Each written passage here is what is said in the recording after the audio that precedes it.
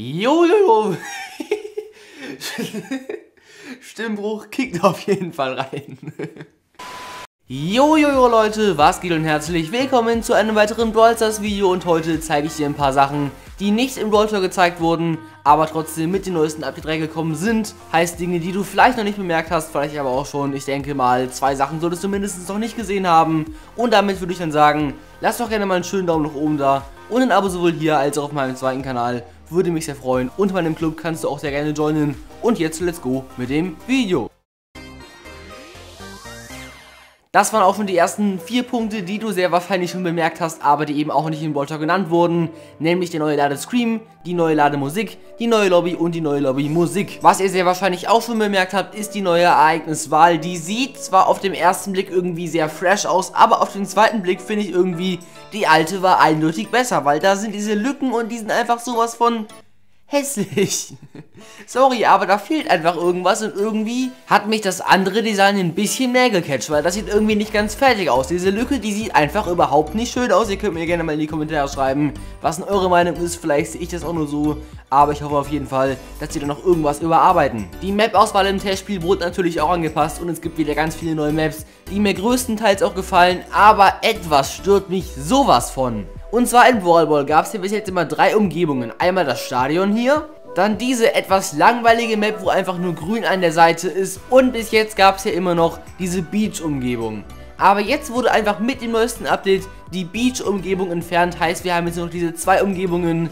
Ich verstehe zwar den Sinn dahinter, und zwar, wenn es zu viele Umgebungen gibt, dann muss das Spiel einfach zu viel speichern und so dauert das Spiel eben länger zu laden. Also ich verstehe schon, warum man Umgebungen entfernt, aber ich verstehe nicht, wieso man diese hässliche Umgebung hier drin lässt, währenddessen man so eine wunderschöne Strandumgebung rausnimmt. Man könnte ja auch sagen, dass man sich Maps selber downloaden kann und man selber entscheiden kann, welche Umgebung man jetzt spielen will, weil im Endeffekt ist es ja egal, ob man jetzt im Schnee spielt oder in der Wüste. Seit dem neuesten Update kann man übrigens nicht mehr auf der Tagessieger-Map Pokale pushen, was vielleicht ein bisschen doof ist, aber auch irgendwie ein bisschen verständlich, weil es gab schon ein paar Maps, die halt wirklich sehr leicht zum Pushen waren.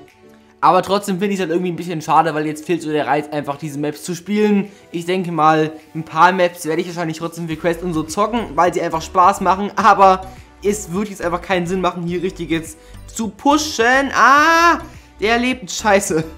Aber vielleicht spawn ich ja jetzt hier. Ach komm, das wäre jetzt schön gewesen wäre jetzt auf der anderen Seite gespawnt, weil dann könnte ich jetzt nämlich schön den Ball hier ins Tor machen, aber das ging so auch ins Tor, na moin. Ist mir auf jeden Fall recht, wir zünden wieder unser Gadget und die Ult, oh, schön, nochmal, mach das gleiche. Komm on, bitte. Der Sprout ist hier gerade ein bisschen eingesperrt und das Ziel von dem Nani war, glaube ich, gerade, sich rüber zu teleportieren. Der Nani kann ein Tor machen, jawohl, und das macht er auch und damit haben wir jetzt hier easy gewonnen. Das ging halt ein bisschen schnell und normalerweise hätten wir jetzt easy 8 Pokale plus gemacht, aber jetzt machen wir halt gar kein Plus. Was halt sehr schade ist, aber irgendwie auch ein bisschen verständlich.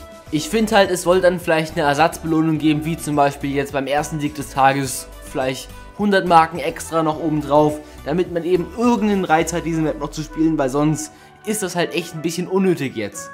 Eine weitere Änderung gibt es bei den Spezialquests, da gibt es jedes Mal 5 am Wochenende und da sehen wir jetzt, wie viele wir da schon abgeschlossen haben. Da finde ich übrigens auch, die Belohnungen sollten da ein bisschen mehr werden, weil maximal 500 Marken am Wochenende ist halt jetzt nicht so viel, dass ich jetzt sagen würde, okay, ich würde jetzt wirklich hier mich hinsetzen und diese wirklich langweiligen Spezial-Events zocken, weil die sind halt einfach mega langweilig, aber jetzt sind wir der Riesenbot und jetzt ist es nicht ganz so langweilig, beziehungsweise vielleicht doch, weil wir campen hier erstmal im Busch, oh, da haben sie uns gefunden, wir machen unser Gadget nach vorne.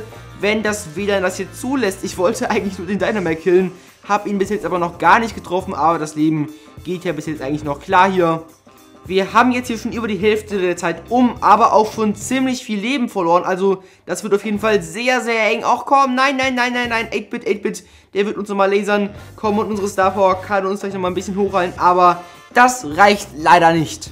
Ausrede, ich hatte ein paar WLAN-Probleme, aber da gibt es auch ein neues Feature beim WLAN und zwar wird uns jetzt unten in der Lobby angezeigt, wenn wir wirklich schlechtes WLAN haben. Das sieht dann ungefähr so aus, habe ich hier schon reingeschnitten, weil ich habe natürlich keine WLAN-Probleme, niemals, Freunde. Falls ihr auch keine WLAN-Probleme haben wollt, könnt ihr hier gerne mal einen schönen Daumen nach oben lassen. Ich garantiere euch, das funktioniert. Und dann gibt es noch ein paar weitere optische Änderungen, nämlich einmal für den guten Hexen Shelly Skin. Achtet mal bitte auf die Augen und die Mimik einfach. Vom Mund, das bewegt sich jetzt ein bisschen anders. Sieht einfach ein bisschen schöner aus, genauso wie bei Nita. Und diesem Shiba Nita Skin. Piratenkohl sieht jetzt auch ein bisschen anders im Gesicht aus. Als nächstes haben wir den guten Bull hier auf meiner Liste. Da bewegt sich jetzt auch der Mund so ein bisschen böse, ist auch ganz funny. Alle Dynamax Skins sagen jetzt auch was, während sie hochspringen. Und ich meine, die springen sogar ein bisschen schneller hin und her am Anfang nochmal anschauen. Ja, das ist sehr schnell am Anfang, wird dann aber sehr schnell langsamer, weil dem alten Knacker hier eben die Puste ausgeht. Baby, Baby, Baby, Baby bewegt jetzt noch ein bisschen ihren Mund, wenn ich es richtig sehe, ist aber minimal. Ein bisschen mehr ist es beim Held Baby Skin, der momentan auch im Shop ist. Da kommen noch ein paar böse Blicke und so. Und dieser Mortis Skin hier, der mittlerweile übrigens, glaube ich, auch exklusiv ist, beziehungsweise man kann ihn gar nicht mehr kaufen. Der flirtet hier noch ein bisschen mit uns. Der zwingert uns gerade noch mit seinem Auge zu. Und dann gibt es noch ein paar andere Änderungen, die die Mimik betreffen. Ist jetzt aber nicht so interessant. Ein bisschen interessanter ist, dass die alten Weihnachtsskins jetzt auch so ein Logo hier haben. Das ist hier der Rico-Skin. Und dann noch der Brook-Skin, der ist hier. Da sehen wir jetzt eben auch halt, dass es ein Jubiläumskin ist und der eben auch exklusiv ist. Damit würde ich dann sagen, hier gibt es noch ein paar Leaks zum neuen Brawl Pass, so wird der aussehen. Und ein Like gleich, eine Stunde weniger auf die neue Season warten. Damit würde ich mich wie immer bei Like-Abo freuen. Und ich würde sagen, wir sehen uns beim nächsten Video. Haut rein und ciao!